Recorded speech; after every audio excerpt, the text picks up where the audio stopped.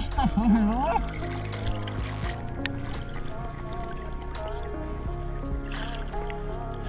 Ah, Den er svær, altså.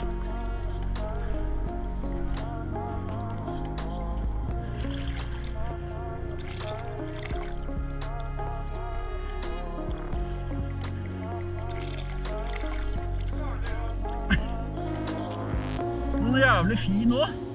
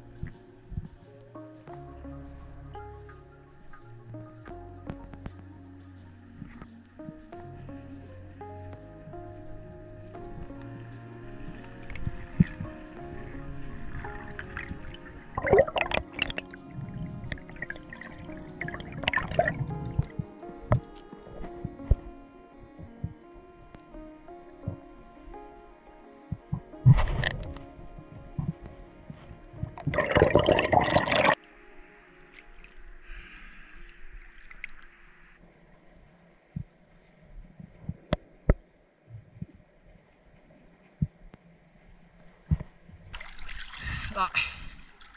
Helt dødt. Det er det bare å ta kursen innover, eller? Mm. Nei, seriøst, eller? Ja, ja. Vab? Fy faen, så digg det var.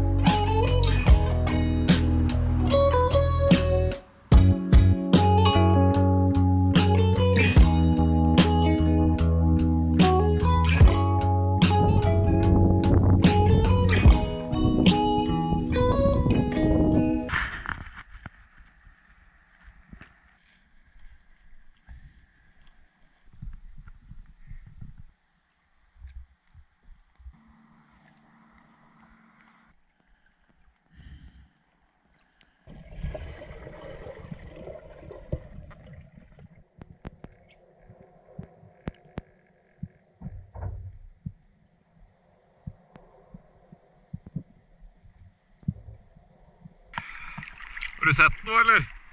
Nei, Nei. Nei.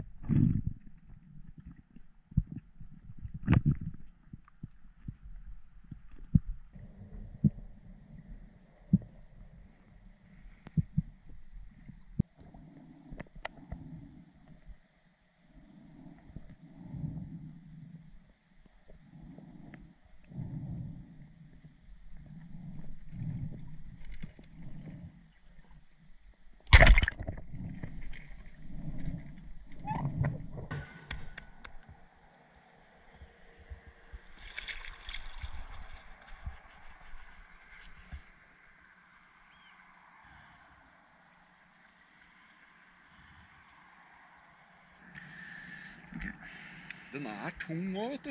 Ja, den er litt tung.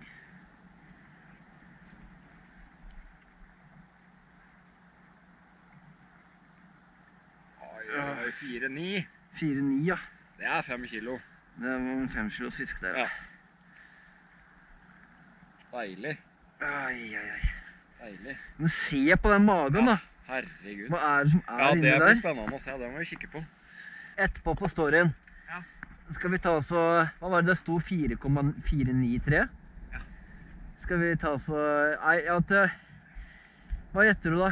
Nei, jeg gjetter eh, Nei 4 4,9 som 493 ish.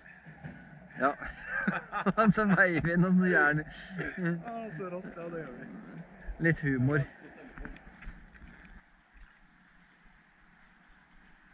Magen er helt full. Vi se hva det er inni der.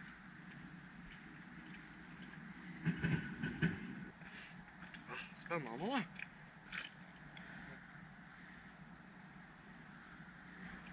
Oi. Ja, se der, da. Er det sild?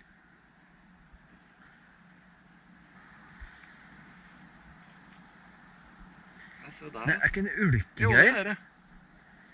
Den har vært og spist på, på bånden der. Den. Det er mer.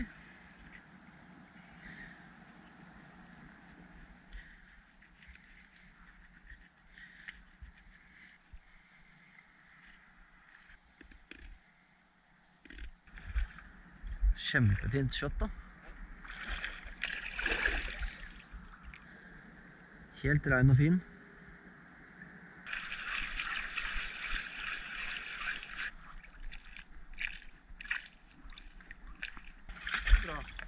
Så på det der ulkekadaveret. Ok, hva er planen nå da? Nå må vi eh, skifte. Ok.